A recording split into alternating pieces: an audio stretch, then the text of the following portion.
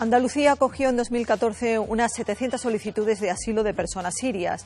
A ellas, como a otros colectivos, les presta ayuda y asesoramiento el sindicato UGT.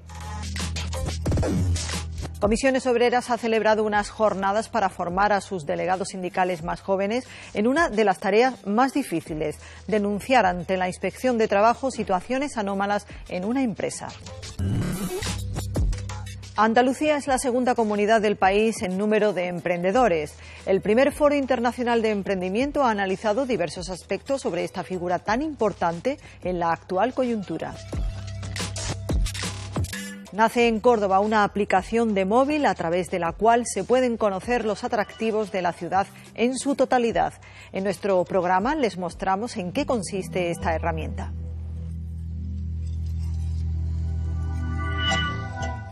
Saludos a todos y bienvenidos a esta nueva entrega de nuestro programa que empezamos hablándoles de refugiados. En el año 2014 Andalucía acogió unas 700 solicitudes de asilo de personas sirias, ahora, como saben, inmersas en un grave conflicto. Pero no han sido ni son los únicos. Ucranianos, afganos, iraquíes, palestinos o argelinos huyen de su país para encontrar refugio en otro lugar. Desde hace años, el sindicato UGT está involucrado en la ayuda a estas personas y colabora con la Comisión Española de Ayuda al Refugiado, CEAR. En el siguiente reportaje conocemos algunos aspectos de esa labor a través de sus protagonistas.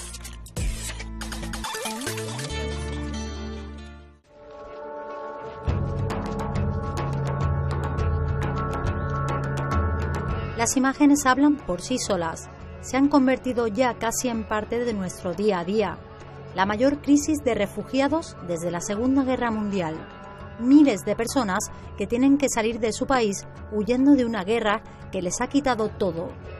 Según los datos de ACNUR, este año han huido de su hogar 60 millones de personas.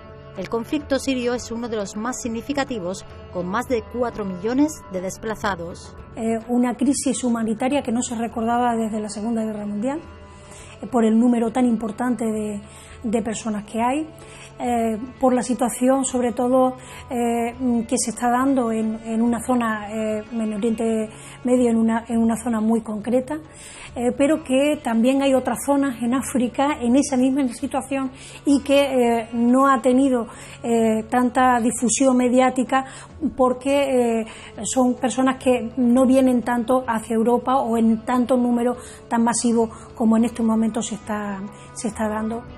Es el caso, por ejemplo, de Selma, que tuvo que salir de su país de origen, Argelia, hace nueve años, para buscar un futuro mejor para ella y para su hija. Nos cuenta que ha sido un camino largo, pero gracias a la impagable ayuda de la Comisión Española de Ayuda al Refugiado, CEAR, dice, ahora es una inmigrante perfectamente integrada en nuestra comunidad.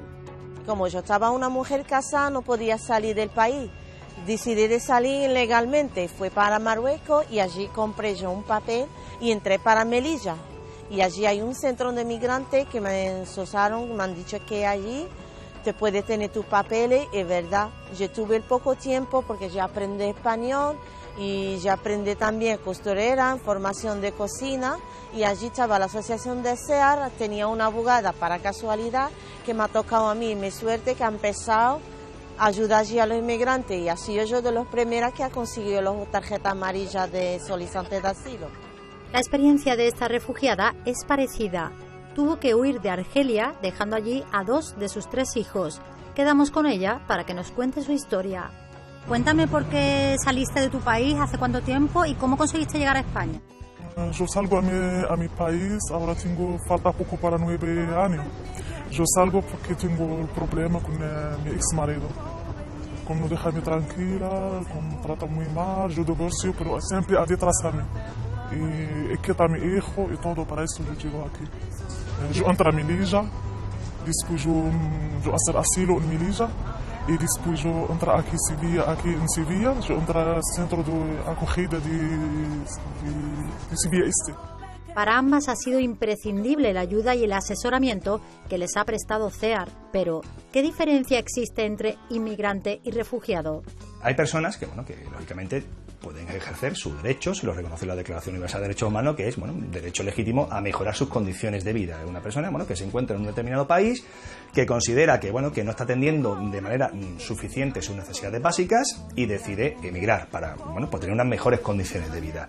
El refugiado es distinto, ¿por qué? Porque el refugiado, el motivo por el cual emigra es porque es que su vida corre peligro. Es decir, está siendo perseguido por su ideología política, por su religión, por su raza, por su etnia, por su orientación sexual o por el hecho de ser mujer, o bien proceden de, de países que se encuentran en conflicto.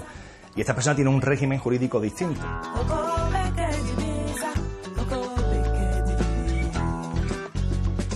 En 2014 en Andalucía se formalizaron unas 700 solicitudes de asilo solo de personas sirias, pero según nos cuentan en este centro CEAR, eso depende mucho del contexto internacional. Por eso UGT colabora con organizaciones como esta Comisión Española de Ayuda al Refugiado. Con más de 30 años de experiencia, los más de 150 trabajadores de CEAR y los cerca de 500 voluntarios trabajan coordinadamente con la Unión General de Trabajadores, entre otras muchas organizaciones, para hacer prevalecer los derechos de las personas refugiadas, apátridas y migrantes con necesidades de protección internacional y en riesgo de exclusión social.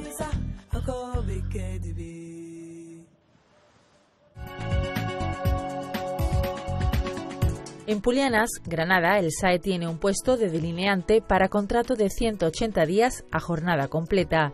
Se pide carné de conducir, así que acude a tu oficina de empleo con el código de pantalla para apuntarte al puesto.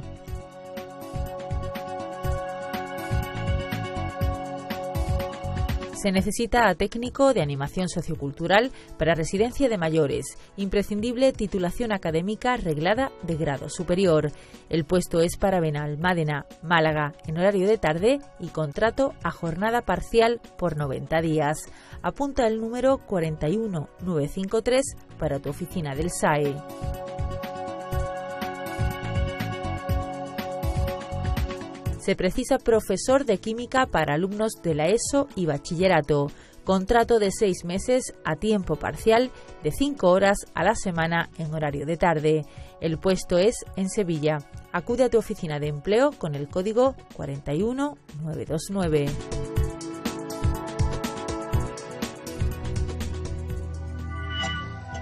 Denunciar a la empresa, si es necesario, ante la inspección de trabajo es un acto para el que los delegados sindicales deben estar preparados. Es una herramienta cuyo objetivo evita abusos y garantiza derechos. Pues bien, saber utilizar esa herramienta ha sido el reto de unas jornadas formativas organizadas por comisiones obreras para los delegados sindicales más jóvenes.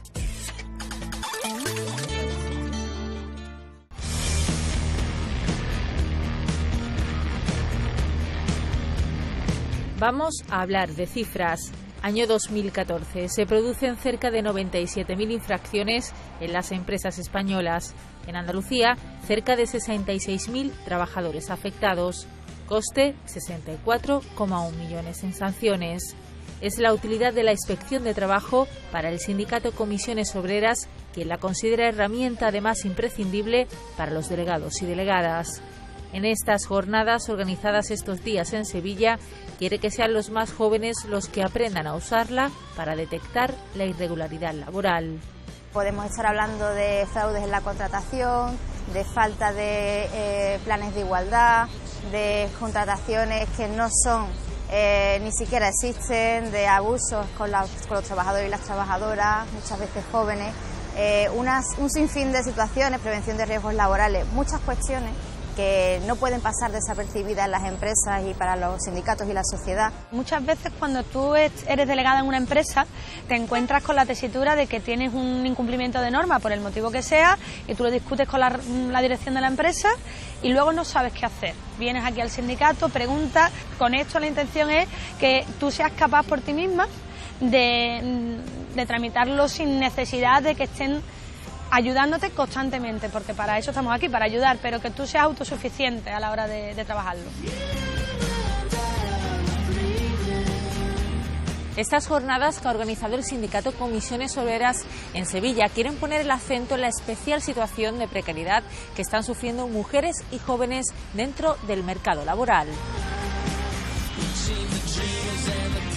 que realmente no se tiene tan en cuenta dentro de las empresas. Pues lo que es el, el conciliar la vida laboral y familiar, lo que es el poder llevar a los niños al colegio, eh, el tener un, ocio que sea realmente efectivo, pues es algo que mm, realmente a la larga dentro de una empresa se tiene que tener muy en cuenta. Es una cuestión de todos los trabajadores y las trabajadoras mejorar en términos de conciliación, tanto personal, laboral como profesional, sus espacios de trabajo y es también hacer que las mujeres y los hombres cobren en igualdad de condiciones y que no existan eh, situaciones de acoso en las empresas. Las inspecciones de trabajo y seguridad social cumplen, según escuchamos en las jornadas, tres funciones, fiscalizadora, sancionadora y de asesoramiento. El año pasado se realizaron en más de 324.000 empresas inspecciones con 330 millones de euros en sanciones propuestas. Abarca desde prácticamente todos los aspectos de la vida laboral, es un, es un servicio público de tremenda importancia y más aún ahora con, en unos momentos en que las dos reformas laborales que hemos sufrido en nuestro país han dejado a los trabajadores y las trabajadoras muy desprotegidos ante esa fuerza superior que tiene en el contrato el empresario. Que hagamos esta jornada es bueno porque somos, en mi caso, soy delegado de hace poco tiempo, no conozco muy bien conozco todo, pero no al 100% las actuaciones y cómo proceden en sus acciones inspectoras los, los inspectores de la inspección de trabajo. En Andalucía se contaron el año pasado alrededor de 230.000 actuaciones en centros de trabajo donde delegados sindicales como ellos acusaron situaciones de precariedad y desigualdad. Como delegado sindical, para a la hora de que, de que quede en nuestro subconsciente, nos la tienen que repetir muchas veces pero fuera parte de la información, la organización es, bastante buena y estas jornadas suelen tener bastante éxito dentro de los delegados sindicales. Una petición de que cuando un sindicato, una parte social, un delegado sindical eh, llega hasta el punto de tener que poner una, una denuncia ante la inspección de trabajo, pues la parte social sea escuchada. El sindicato aconseja actuar en cada situación según la realidad de cada provincia e incluso la realidad de la persona inspectora de la zona, con una estrategia como la que han aprendido hoy, sindical y política, con el primer paso siempre, el de informar al sindicato.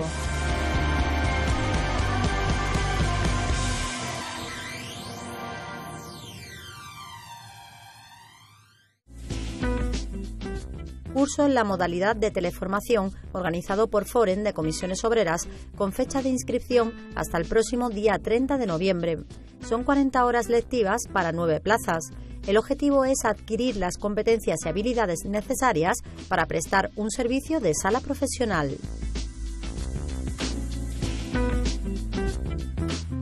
La Federación de Construcción de UGT organiza este curso de prevención con fecha de inicio el próximo 23 de noviembre. Son 60 horas lectivas sobre conceptos de seguridad y salud, prevención de riesgos o primeros auxilios.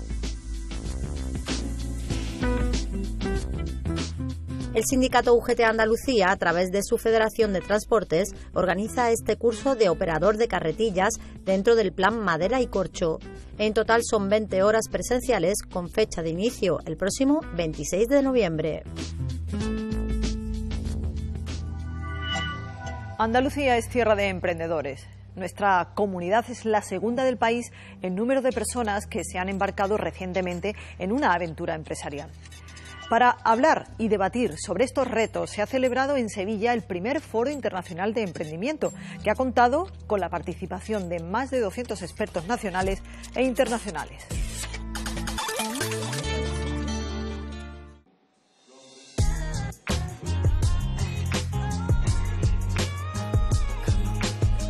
Emprender implica dificultad y peligro.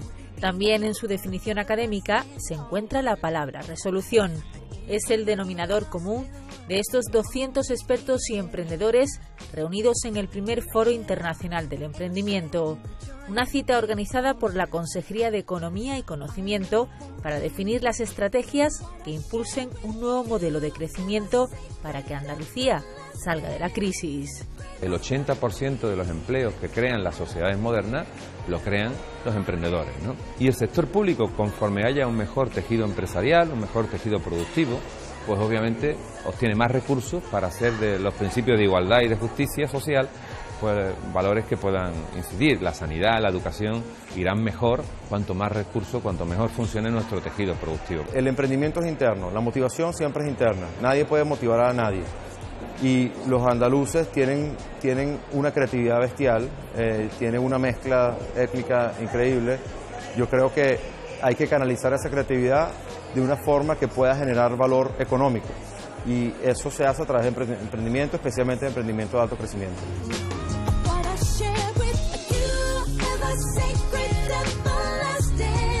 El mapa de emprendimiento de Enrique Sada inauguró el programa del workshop.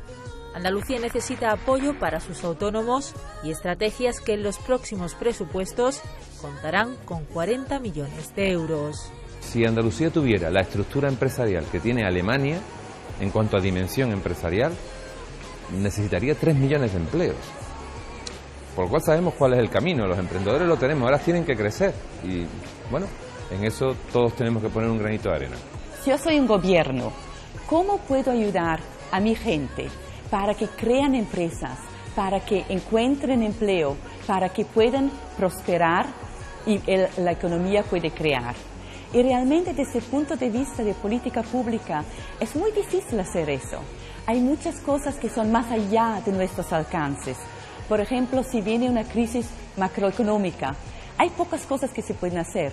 Desde 2009, los Centros de Apoyo Empresarial de Andalucía Emprende han impulsado 80.041 empresas con más de 100.000 empleos creados.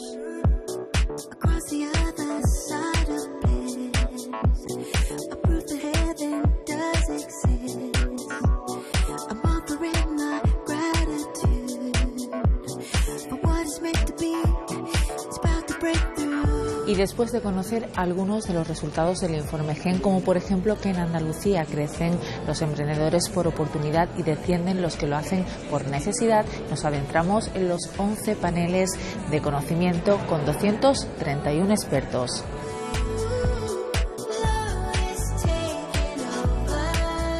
Es la parte práctica del encuentro. 11 paneles del conocimiento con rostros de expertos, entre los que estuvo presente el equipo del programa dentro de la mesa de trabajo dedicada a la comunicación.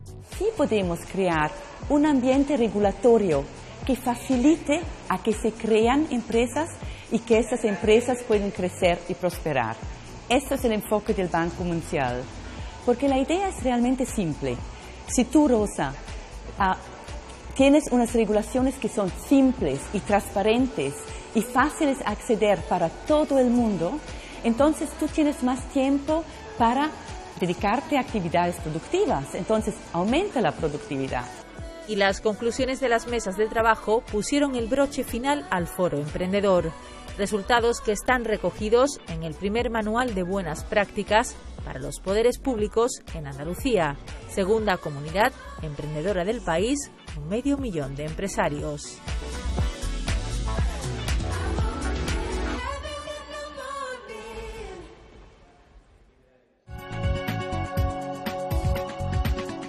Técnico administrativo con discapacidad. Es el puesto que ofrece el SAE en Málaga para el que requiere titulación FB2 o técnico superior en administración, así como carné de conducir. La jornada es completa con contrato indefinido. Recuerda el código 41780 para tu oficina de empleo. En Ronda, Málaga, se ofrece un puesto de dependiente de material de óptica e instrumentos de precisión. Se requiere inglés y la primera etapa de la educación secundaria con título de graduado escolar. El contrato es temporal, de seis meses y la jornada completa. Si te interesa, acude a la oficina del SAE más cercana y pregunta por el código 41997.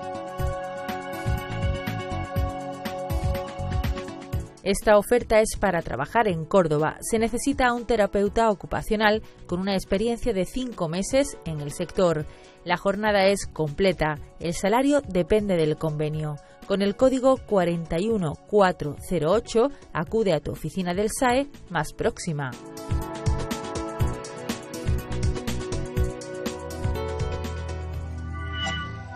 ¿Les gustaría a ustedes conocer todo Córdoba a golpe de móvil? Con todo, nos referimos a lo que usted puede elegir, restaurantes, monumentos, gastronomía, tiendas. Bueno, pues ese todo lo pueden encontrar y gestionar desde su móvil, con una nueva aplicación creada por emprendedores andaluces. Mediante un diseño muy práctico, muestra los atractivos, en este caso de la ciudad de la Mezquita. Pronto mostrarán los de otras.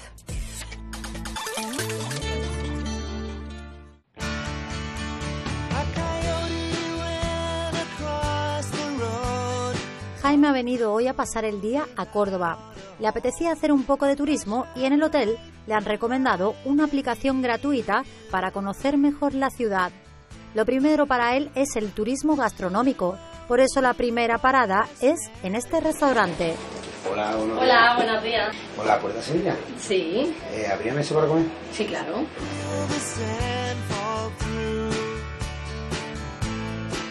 Para escoger el menú, Jaime también se deja asesorar por esta especie de guía completa de Córdoba, en la que puede consultar los platos típicos del restaurante con todo lujo de detalles. Se trata de un turismo a la carta y nunca mejor dicho. ¿Qué tal? ¿Qué le apetece? Pues mira, he estado viendo la aplicación Tuto Córdoba que tenéis una serie de carnes que me recomiendan. La carne que le recomiendo es el solomillo ibérico con migas y un poquito de salsita de Pedro Jiménez. Es nuestro plato estrella. Estupendo, me quedo con eso. Perfecto. Una aplicación para dispositivos móviles que se puede descargar de cualquier tienda de, Google y de Android, ¿eh? de, iOS y también de Windows Phone. ¿eh? Se descarga, como acabo de comentar, de una manera gratuita y simplemente nada más eh, instalarla puede empezar a funcionar. No hay que hacer nada especial, ni registrarse, ni ningún paso intermedio. Puedes buscar eh, la localización donde estamos, aparece el teléfono, puedes reservar también fácilmente a través de la aplicación, eh, llamar directamente. Y luego pues viene unas fotos de, de las instalaciones, de los salones que tenemos, de la capacidad y un poquito eh, las especialidades de nuestra carta. Ahora sí, comenzamos con la ruta de los patios, uno de los reclamos turísticos más importantes de la ciudad, como viene en la aplicación con la que Jaime está encantado. El contenido es muy fácil de manejar, lo, que te viene sobre todo es eh, gastronomía, eh, todo lo que es eh, la cultura de la ciudad, todos los edificios que puedes visitar, lo más importante culturalmente y gastronómicamente, también tienes tiendas, Un diseño muy sencillo a través de menús que permiten al turista disfrutar de rincones llenos de encanto en cada calle y en cada esquina. Eh, ¿Te importaría explicarme un poco que me ha traído alguna aplicación aquí al patio y Sí, claro, mira, esta casa es, es muy antigua, es del siglo XVI. Y aunque muchos turistas se siguen guiando por el mapa en papel, pronto se verá tan antiguo como esta primera fregona, reclamo de otro de los patios porque está cediendo el turno a las nuevas tecnologías. Bueno, fue una aplicación que vinieron y nos, presen- nos presentaron y nos pareció bastante curiosa porque es muy dinámica y muy, muy atractiva, ¿no? También para el visitante. Es una aplicación muy fácil en la que te geolocaliza los lugares de interés a los que ir, te lo explica y no solamente te lo explica con, con texto, sino también de forma gráfica, con diferentes fotografías y demás.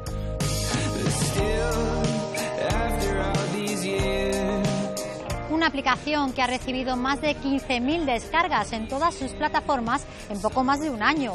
Ahora vamos a conocer cómo surgió la creación de esta herramienta con la que podemos conocer todo Córdoba, o mejor dicho, Tuto Córdoba.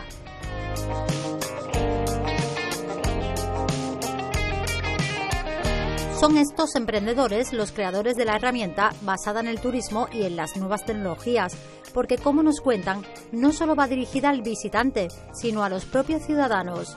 Esa es una de las claves que quieren exportar a otras provincias andaluzas. Están varios idiomas para facilitar al usuario que venga de otros países el- la descarga y la usabilidad. Y eh, estamos ya negociando con más empresarios para lanzar un tuto Almería, un tuto Málaga, para que poco a poco, pero siempre con nuestro know-how. Es decir, que nosotros queremos que cada ciudad que nosotros entremos tenga la esencia de tuto Córdoba. Esencia que nos permitirá conocer toda Andalucía gracias a la idea de estos emprendedores que ampliarán muy pronto nuestro tejido empresarial.